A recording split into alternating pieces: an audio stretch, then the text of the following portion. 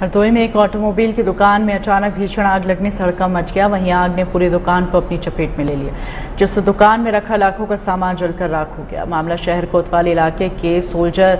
ward चौराहे के पास का है जहां एक ऑटोमोबाइल शॉप में आग लग गई मौजूद लोगों ने जब दुकान में आग लगी हुई देखी तो पुलिस और दमकल को सूचना दी साथ ही लोग पानी डालकर आग को बढ़ने से रोकते रहे मौके पर पहुंची दमकल की गाड़ियों ने कड़ी मशक्कत के बाद आग पर काबू पाया फिलहाल आग लगने के कारणों का खुलासा नहीं हो सका